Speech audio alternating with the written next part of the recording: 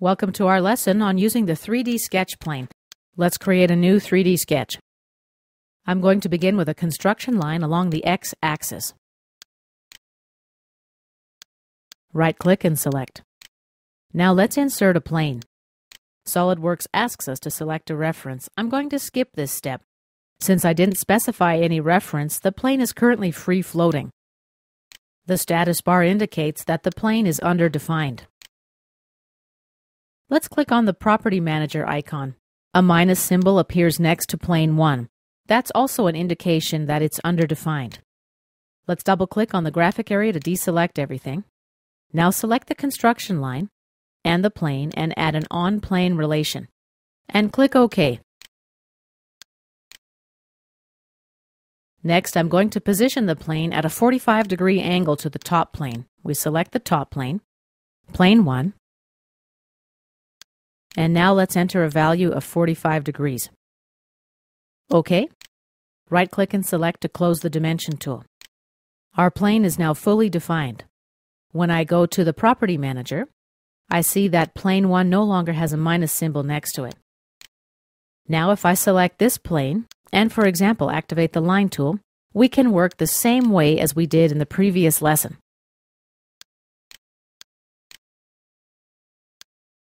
Right click and select. And let's undo. If I double click the plane, it becomes active. When I activate the line tool, the triad doesn't appear, nor do the plane indicators. That's because right now we're only sketching on the active plane. And let me finish sketching here. Right click and select. One more tip I wanted to mention about creating a 3D sketch. Rather than creating an entire sketch and then afterward applying dimensions and relations, it's much easier to create a few sketch segments, define them, and apply relations to make the sketch fully defined, and then move on from there. So let's take my advice and apply some dimensions here now. This side will be 50 millimeters. Okay, the longer side will make 100 millimeters. Okay. The sketch remains underdefined. I need to add relations. If I grab this corner, I can see where the problem is. Let me shift select these two lines and add a perpendicular relation. OK, and now our sketch is fully defined. To deactivate the plane, just double click in the graphic area. The plane remains visible but no longer active. Let's insert another plane. For the first reference, I'll select this point. And for the second reference, this line. The plane will basically go through this point and then be normal to the line. Let's click OK. Notice the sketch is still fully defined. When we go to the Property Manager, no minus symbol appears next to plane 3. And of course, that means the plane itself is fully defined. Once again, to activate the plane, plane 3 is currently our active plane. Let's deactivate it by clicking elsewhere in the graphic area, and we reactivate it with a double click on the plane. Just activated the line tool. I'm going to create a line sequence here. And snap to this point.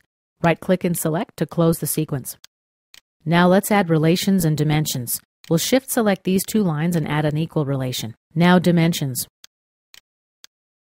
55 millimeters here. Accept. To understand what else you need to add to make your sketch fully defined, simply grab a point and drag it. If you're able to drag the point freely, then you'll need to constrain it with a dimension or relation. I'm going to use one more sketch plane to fully define this sketch.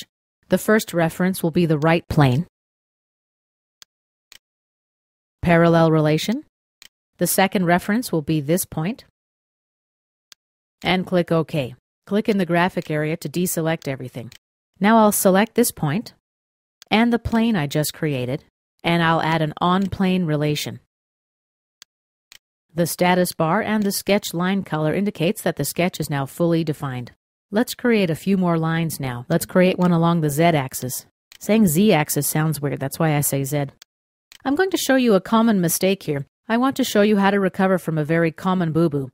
What I'm trying to do is create a line along the x-axis, but I forgot to click the Tab key to switch planes. Let's right-click and select and our line sequence. From this perspective here, the sketch looks fine. But when we try to rotate the sketch, the problem becomes clear. So let's fix this problem. Let's select and delete this relation. Then we select the line that we messed up. From Add Relations, click along X. OK. Now let's grab this point here and drag it back out accordingly. OK, let's take a look. It looks fine now. Let's apply dimensions. This one will be 80 millimeters. Accept. Right-click and select to close the dimension tool. Let's select this point and plane 5. Add an on-plane relation and click OK. The sketch is once again fully defined. Let's add some fillets now. We'll get a warning message from SOLIDWORKS about having to adjust the geometry to satisfy the equal relation. Let's just click Yes and continue applying fillets. And last one here. Let's click OK. The sketch is fully defined. Let's exit the sketch. Now let's insert a reference plane. I'm going to select this line and this point. The preview shows us a plane that's normal to this line, which goes through this point. Let's click OK. And now let's insert a sketch on our new plane. Right-click, Insert Sketch. Activate the Circle tool Let's place a circle about here and dimension it. 10 millimeter diameter. Okay, there we go. 10. Okay. The sketch is fully defined. Let's exit. We'll hide plane 1. Right-click, Hide. And let's go to the Surfaces tab. Swept Surface tool. First we select the profile for the sweep, and then the path. Here's our preview. Let's click OK.